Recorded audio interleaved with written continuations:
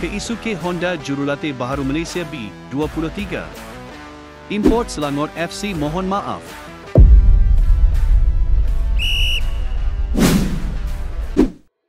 Apakah legenda kebangsaan Jepun, Keisuke Honda, menjadi pilihan utama sebagai pengganti jurulatih sebelumnya, E. Elavarasan? Dalam satu ucapan yang dimuat naik Honda di laman ke-10 miliknya, Keisuke Honda mengumumkan bahawa beliau sudah tiba di Malaysia.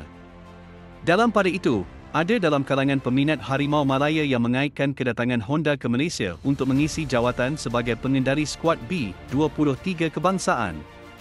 Ciapan Honda itu turut mendapat perhatian respon daripada beberapa pemerhati bola sepak tempatan. Kehadiran Honda ke Malaysia boleh mendatangkan pelbagai kemungkinan namun secara rasionalnya, menjadi satu kebiasaan pemain bola sepak ternama datang dan meluangkan waktu di Malaysia. Bek Tengah Selangor FC Yazan Al-Arab memohon maaf atas keterlanjurannya susulan tindakan beliau menendang pengadil dalam aksi suku akhir kedua Piala Malaysia baru-baru ini. Beliau mengakui kesal dengan perbuatan tersebut kerana perbuatannya memberi kesan negatif kepada pasukan Selangor khususnya para penyokong. Yazan turut mendedahkan beliau tiada niat menendang punggung pengadil perlawanan, Hasrul Amir. Beliau percaya ini berlaku disebabkan tekanan psikologi semasa perlawanan ditambah dengan berita kematian sepupunya di Jordan baru-baru ini.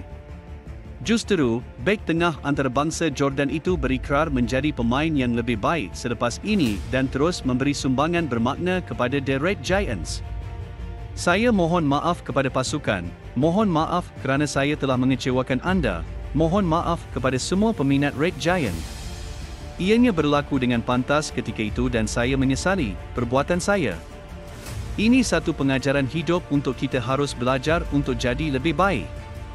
Saya mohon maaf kepada penyokong dan rakan-rakan sepasukan saya.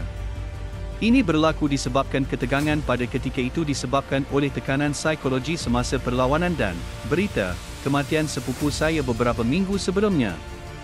Saya tahu ini bukan alasan untuk saya melakukan apa yang berlaku, itu bukan perwatakan saya atau apa yang saya belajar dari Islam.